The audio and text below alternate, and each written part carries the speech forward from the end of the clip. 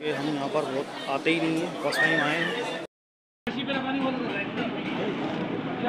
तो नमाज़ के लिए जा रहे हैं जल्दी जल्दी।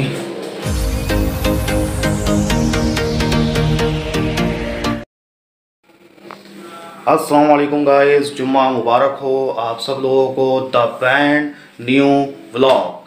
तो नए व्लॉग के साथ हाजिर हैं, आज जुम्मा है और जुम्मे की नमाज़ पढ़ने के लिए जा रहे हैं। पौने तीन हो रहे हैं, तीन बजे की जमात है।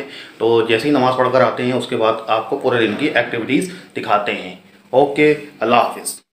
अच्छा जी, जैसा कि आप लोग देख सकते हैं, नमाज़ पढ़ने जा रहे हैं। इस वक्त जो है वो ढाई बजे का टाइम हो रहा है और अब जो है हम भी नमाज़ की तैयारी करते हैं और जो है उसके बाद फिर हम शॉपिंग पे अच्छा जाते जी हैं हम रुके हैं नमाज़ असर के लिए नमाज़ असर का टाइम हो चुका है पाँच बजे का टाइम है हम जो है तारिक रोड की तरफ़ जा रहे हैं नमाज़ वगैरह हमने जहर की पढ़ ली थी अब हम शॉपिंग की तरफ़ जा रहे हैं और रास्ते में जो है असर का टाइम हो गया था यहाँ हम असर की नमाज़ पढ़ने के लिए रुके हैं और हम यही देख रहे थे कि यहाँ पर कोई ऐसी जगह मिल जाए जहाँ पर हम असर की नमाज़ अदा कर सकें और यहाँ पर हमें फ़ाइनली एक जो है गार्डन मिल गया था वहाँ पर हमने नमाज़ पढ़ ली। अब हम यहाँ से तारिक रोड की तरफ़ जा रहे हैं।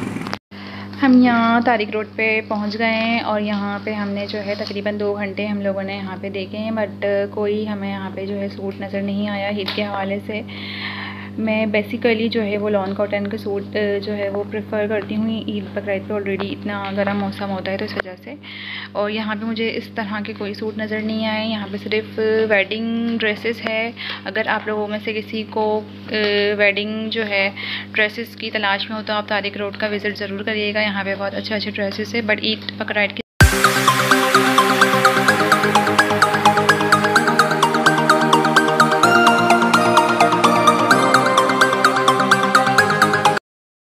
नाजरीन, कुछ भी नहीं समझ में आ रहा। बहुत बुरा हाल है। और तकरीबन डेढ़ घंटा ज़ाया हो चुका है। और कुछ भी नहीं समझ में आ रहा। कुछ नहीं समझ में आ रहा, कुछ भी नहीं समझ में आ रहा। अब देखते हैं, नीचे जाने के लिए बोला है, जहाँ के भाई तुम्हारे मतलब के फ़ूड नीचे मिलेंगे। तो हम देखते हैं नीचे क्या मिलता है। नीचे हमें क्या मिलता है?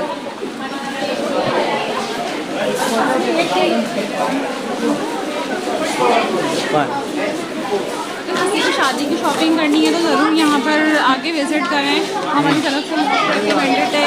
पूरी जो है वेडिंग यहाँ पे जो है हर तरह के जो है कपड़े यहाँ पे मिल रहे हैं अवेलेबल अवेलेबल है।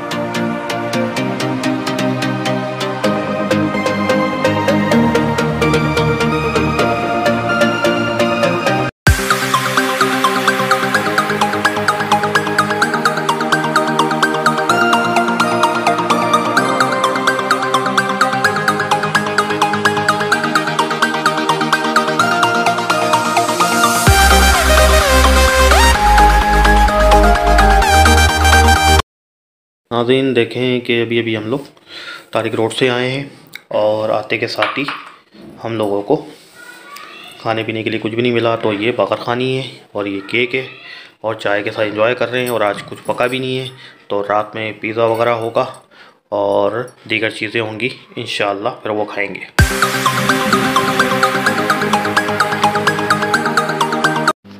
अच्छा जी हम यहाँ दो घंटे ज़ाया करने के बाद अब फाइनली हमें भूख लग गई और हमें फिर रोल वाले की दुकान नज़र आई। अब हम यहाँ पे जो है रोल लेने रुके हैं। हम यहाँ पे कुछ रोल वगैरह लेंगे। उसके बाद फिर आगे की तरफ़, घर की तरफ़ जाएँगे और अब हम चलते हैं घर की तरफ़।